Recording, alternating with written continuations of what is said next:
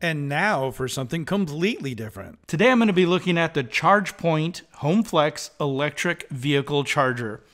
Now that's kind of a mouthful, but essentially what this is is a quicker way to charge electric vehicles. And our family recently got a Chevy Bolt EV over the summer, and uh, we've been living with level one charging for long enough, and it's time to move up. So let's take a look.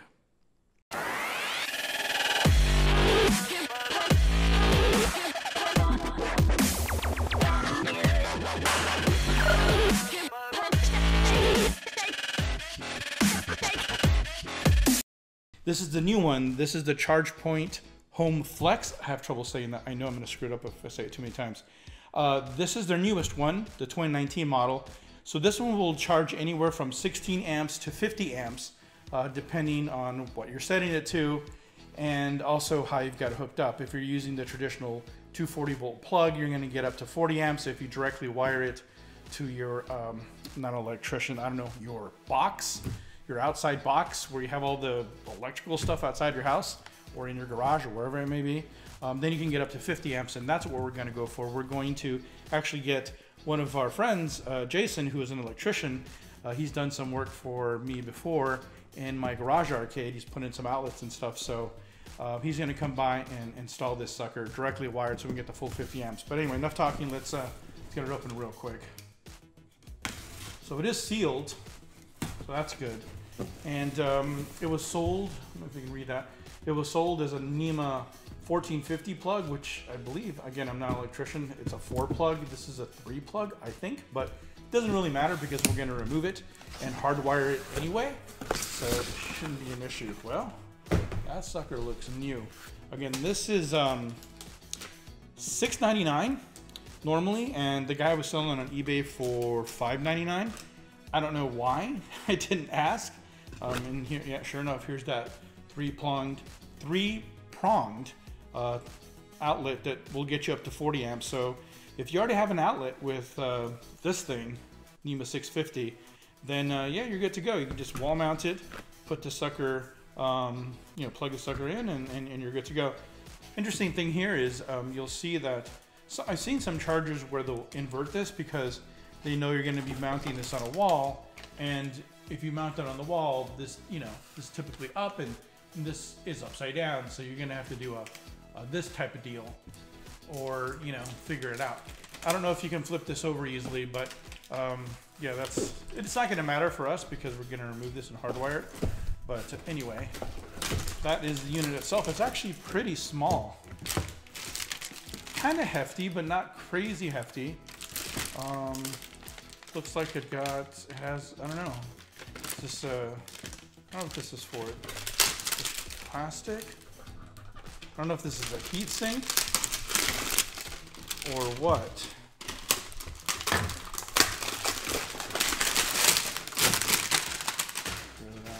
Um, seems like plastic.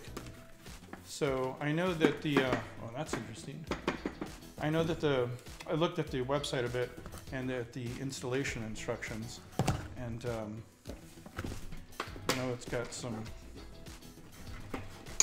Oh, I haven't even looked at the. Huh. I haven't looked at the instruction manual yet, but yeah. So you can actually hardwire to this stuff right here.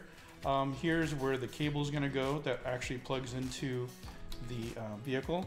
Now we have an American Chevy Bolt EV electric vehicle, and it's great. We love it. It's just uh, it holds a lot of charge. It actually has a 200, it's rated at 238 miles per full charge.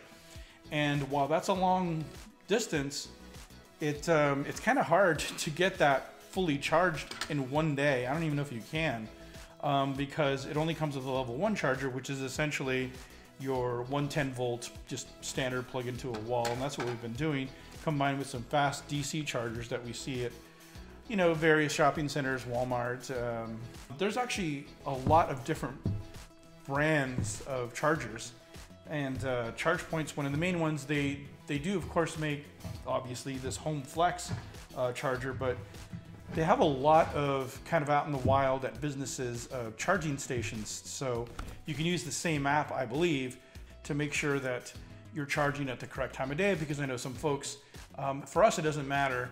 Uh, I think we're paying like eight cents a kilowatt hour. But if you have like nights or weekends free, you may want to set the charger up to charge only in the evenings or only on the weekends uh, or weekends all day or whatever.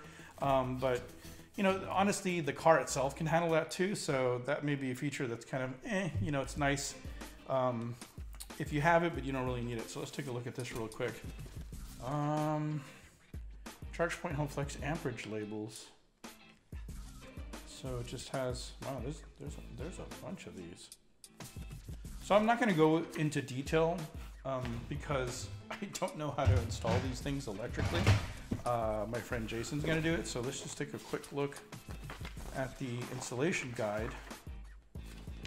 I think it's just, um, so here's, here's some, some stats for you.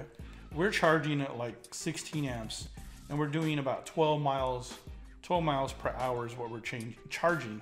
So you can imagine getting up to 230 whatever miles of charge takes forever. So that's not ideal.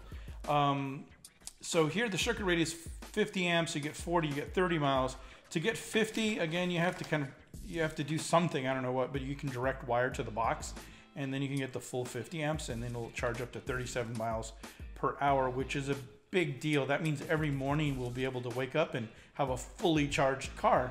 And when you have 238 miles or so, um, it varies depending on the weather. If it's cold or hot, it may get worse or sometimes better um, distance. But uh, here it is. There's different plugs. There's a 1450 and a 650. This is a 650. But again, we're going to rip it off anyway and just use direct wire. So circuit rating, okay, so this is what we're going for here going for 80 amp or 70 amp circuit rating so you can get a max load of 50. And then there you see you can get 37 miles um, of charge per hour. So yeah, here I already seen this uh, online. Um, basically gives you uh, kind of a little heads up on how to line up your mount points to get this on the wall. Um, we're actually installed. This is an indoor-outdoor model. We're actually installing it on the wall outside of our house because our garage is actually a garage arcade, or it's going to be. Um, it's in the process of being converted. So we can't just drive the car into the garage and charge from here. So this has to be mounted on the outside. Um, but it is rated for outside as well, so it shouldn't be a problem. But we're going to have to mount this to brick. So I'll have to figure that out. So yeah, as far as I know, you just take your um, charge cable and stick it through the bottom hole here, and then, as we saw earlier, you just hook them up to these three, and that's pretty much it, I think. Yeah, here you go. The hard part, or the part where you need an electrician, is um, getting this hardwired to your electrical box, or getting one of these 650 or um, 1450 plugs installed if you don't have one where you need it.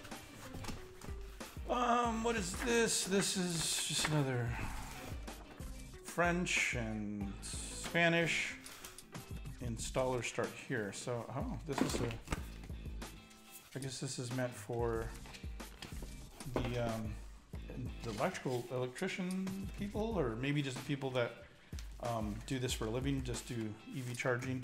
I'm sure if they do that for a living and they've done this enough times, they don't even read the directions anymore. I don't know what this is says I'm charged for home flex. I think, here's a quick start guide. I think that you can actually set this up with a ChargePoint network because again, they do, they do offer standalone, you know, retail chargers, um, shopping centers and retail places, stuff like that. So I think you can actually add yourself to the network. And if you're comfortable with people coming to your home and using your charger, I think you can even set that up because as you notice, there's no buttons on this thing. Everything is app driven, which is kind of worrisome because what if the company goes out of business and they don't update their app or whatever? But ChargePoint has been around a while, since 2007. I think that's what it's been. I think that's what I read. So it's been around a while as far as, you know, EV, that's a long time. So, you know, yeah, we're, I guess we're taking a, a chance that if the app goes bye bye, then we can't use the charger. But from what I read, once you set it to the amperage you want via the app, then you just kind of leave it alone and you can charge going forward. Um, it has the, uh, gosh, I can never remember, the J1 something something plug, which is the standard plug for, at least for American vehicles. This must be the, yeah, so these are the, oh, that's nice. Comes with the drill bit for the, uh, for the long ass screws to mount it to the wall. So you would probably want to mount it to a stud um, if you're mounting on the inside of your garage, but since we're doing it on the brick, probably not going to matter. We, we might not even we might even need different mounting um, screws for brick. Okay, and this is the cable. It's pretty heavy, um, very heavy duty, certainly. Again, this is indoor outdoor, and that's what the plug looks like. So yeah, pretty neat. It looks actually, I, you know, I was gonna go and, and grab the 110 plug and show you the cable for that. But honestly, it looks pretty much the same as this, except for on this end, it's got a standard, you know, three pronged, 110 volt uh, plug. Nothing really fancy about it, and it looks just like this, just a cable. So uh, yeah, nothing too fancy about this. It might be a little thicker, um, but yeah, it definitely feels heavy duty. Yeah, that's that's, that's really it. So um, you got this. It goes in here, and then this goes to your box or to your plug, and that's it. This um, I like this one designed because it has, first of all, because it was 50 amps, and not all chargers, a lot of them were 30 amps or 32 amps, and uh, as you saw on the manual, it makes a huge difference how much, you know, what the amps are on your charger as far as charge times. So if you were going to get one, we figured, you know, if you're going to get one, you might as well get one that does the most possible. Um, besides DC fast charging, you can't do a DC fast charger unless you have DC to your house, which nobody does. Everybody has AC. So that's kind of reserved for special um, destination points for fast charging. Like uh, we only have a, a, few by our house that are fast chargers, and uh, again, they're all retail locations. So yeah, it just rests in there. That's kind of neat, and then has a space for um, your cable there. You know, just like that. All right, that's it. That was it for um, just a quick look at the ChargePoint. What is this called again? the charge ChargePoint HomeFlex electric vehicle charger from ChargePoint. Hope you enjoyed the video. Um, if you enjoy stuff like this, let me know. Um, I might follow up with what it looks like after it's installed. But uh, anyway, I know it's been a while since I put out a video, so I got kind of excited when this showed up. And you know, it's not video games, but it's still tech. So anyway, thanks for watching, guys. If you have any comments or questions, you know, certainly put them below, subscribe, and all that jazz. But uh, anyway, see you next time. All right, guys, here's a post-mortem. I did finally get it installed. My buddy Jason and his brother Jeff came out and installed it. Actually, Jeff ended up doing the install. Here is where we wanted it installed in the side of the house. This is actually in the left side of the house, so the front side of the house is to the right. And you can see the car start to appear here. There's a small little area to the right side of that electrical panel where we wanted to install it. You can see there that's a little less than 14 inches, so that did kind of limit which chargers we could select to, to install there. Great thing though, there's a lot of chargers to choose from. But as you can see, a lot of those don't have a place to store the charging cable when you're done. You can see like the, there's the one we got. It's got not only a place to to put the cable, but a place to plug in the plug when you're done, unlike the original or older or different charge point. I don't know what that is. Um, so here is a boring picture of the electrical panel circuit breakers that I don't know. I, I thought you might find interesting for some reason. And um, as you can see there to the right, the car charger was actually put in on slots 14 and 16. Again, not super interesting, except for that you can see we put a 70 amp circuit breaker in there to try to utilize the entire, you know, to get the most most use out of the, the charger. And here it is installed. You can see it's directly wired right into the electrical panel. Looks very clean. They did a great job and you can see that there's enough space to store the charging cable and for me very important a place to plug in the the charge plug part the part that plugs into the car um, so that it's protected from the elements because it is outside. And here we have the level 1 charger. I plugged it in at 1.44 p.m on a sunday and it's not going to complete its charge until 4 p.m the next day. That's about a little less than half full on the battery. But here's the level 2 charger that we just installed. You'll see that it actually completes the charge fully at 6:30 p.m. the same day, a little under 5 hours. So that's a huge difference. So overall, I can definitely recommend the ChargePoint Home Flex. But honestly, any level 2 charger is going to be a huge improvement over a level 1 charger. So do yourself a favor. If you have an electric car and you haven't gotten a level 2 charger, definitely go out and get one, even if it's not this ChargePoint Home Flex, because honestly, it's pretty expensive compared to the other ones. The Siemens is probably the one I would have gotten, except for we needed a smaller one. And honestly, I also like the fact that this went up to 50 amps if you could directly wire it. So if those are options that you'd like, yeah, the ChargePoint Home Flex makes sense. In the meantime, enjoy this still photo of this asshole charging this Tesla parked crooked in front of I hope what's his house. Looks like a brand new house with brand new epoxy on the floor the cleanest garage ever, probably. Screw that guy. Anyway, guys, thanks for watching. Subscribe, ask questions below in the comments, or just comment. I guess it doesn't have to be a question. Uh, let me know you're out there. if you like videos like this, let me know. Otherwise, I'm probably going to revert back to my video game and technology stuff. That's that's usually my wheelhouse. Until next time.